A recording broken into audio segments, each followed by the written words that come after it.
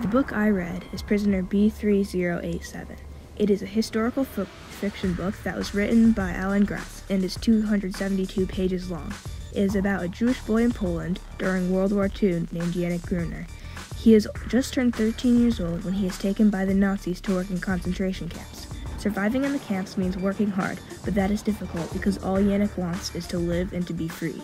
To no one's surprise, the Nazis are pretty clear that they won't let that happen anytime soon. As if that isn't bad enough, anyone who tries to escape is killed. How will Yanek survive being almost starved and frozen to death? Find out in this book that pr- proving that despite how difficult times can get, hard work and perseverance pay off.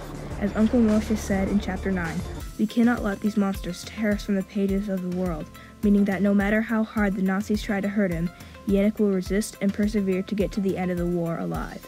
It is Alan Gratz's writing style that makes this book so intriguing, so if you liked his style, you may also enjoy the book Refugee. If you also liked how Yanek was very persistent, you should check out Hatchet by Gary Paulsen.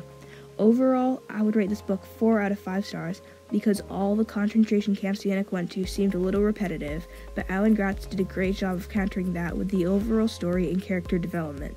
So if you like riveting adventure stories with a likable main character, then Prisoner B3087 is the book for you.